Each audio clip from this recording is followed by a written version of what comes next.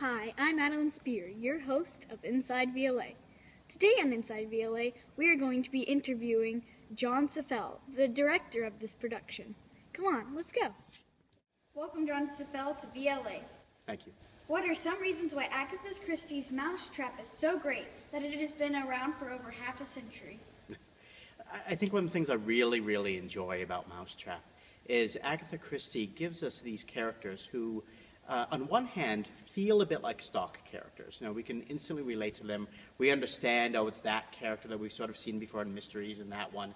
And yet, the more time we spend with them, the more we realize that they're not that two-dimensional. Suddenly there's all of this room for an actor to really, really play with. So we start off in something that feels very familiar, but before we can get too comfortable, it really starts to dig in and we experience a whole new world with it.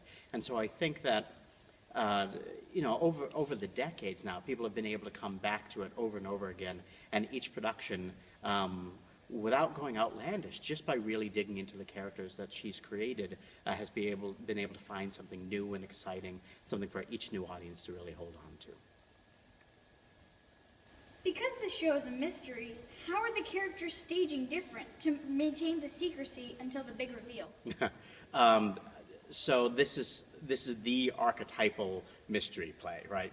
Um, and I, I, think Agatha Christie does such an amazing job of not just giving us a red herring, but that every single character is a red herring in a way. Uh, every single character that we meet has moments where we are positive that we care deeply about them and we don't want them to be the murderer, and other moments where we're positive that we're wrong and clearly they're the guilty one.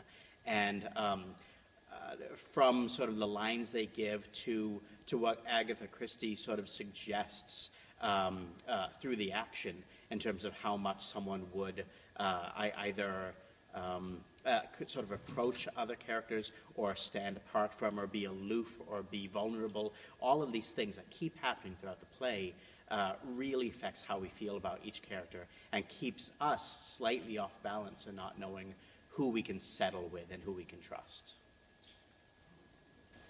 Finally, what about this play intrigues you to the point where you would want to direct it?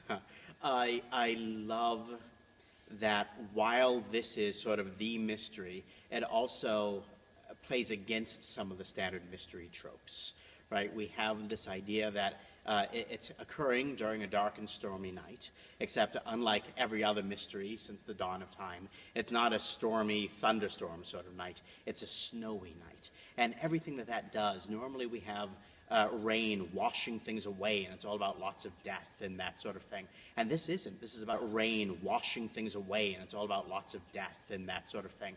And this isn't. This is about snow. It's about covering things up. And the more we get into the play, the more layers we realize, and the more secrets that we sort of feel are hidden right beneath the surface. And that ability to to spend an hour and a half to two hours with these characters and uh, just keep peeling away and finding all these little secrets and realizing what's really going on beneath the surface.